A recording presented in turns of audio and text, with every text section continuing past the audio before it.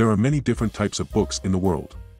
Some people like to read books that are about adventure, while others like to read books that are about romance. Books can take you to different places, and they can also teach you new things.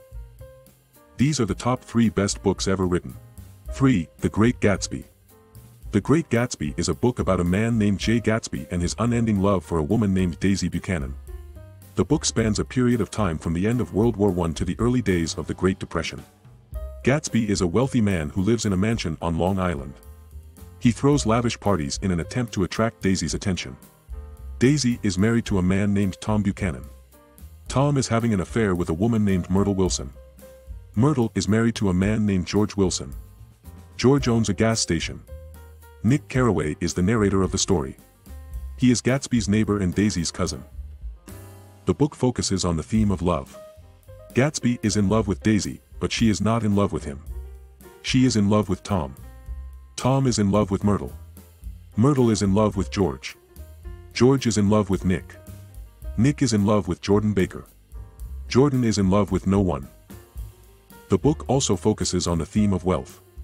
Gatsby is wealthy, but he is not happy. Daisy is wealthy, but she is not happy. Tom is wealthy, but he is not happy. Myrtle is not wealthy, but she is happy. George is not wealthy, but he is happy. Nick is not wealthy, but he is happy.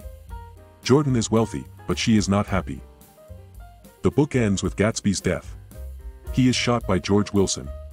Wilson then kills himself. Daisy leaves Tom and goes back to Louisville.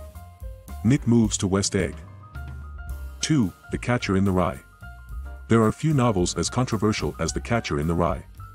Books that are banned are often because they are deemed to be inappropriate or dangerous, but The Catcher in the Rye is neither of these things.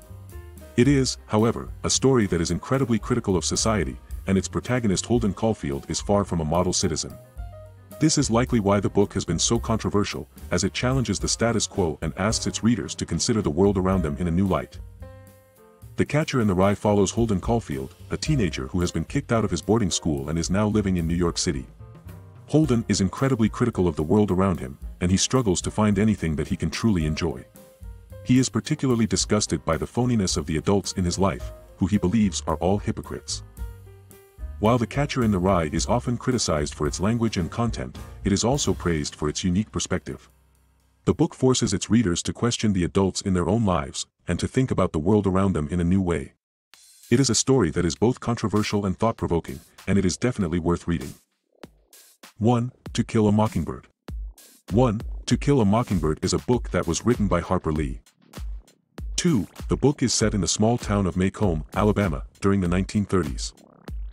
3. The book is about a young girl named Scout, who is learning about life and growing up, while also witnessing the racism and prejudice that exists in her town. 4. The book has been widely praised for its portrayal of life in the South during the 1930s, as well as for its message of tolerance and understanding. 5. To Kill a Mockingbird is a classic book that is still loved by many readers today. We hope you enjoyed this video, please like and subscribe for more content like this.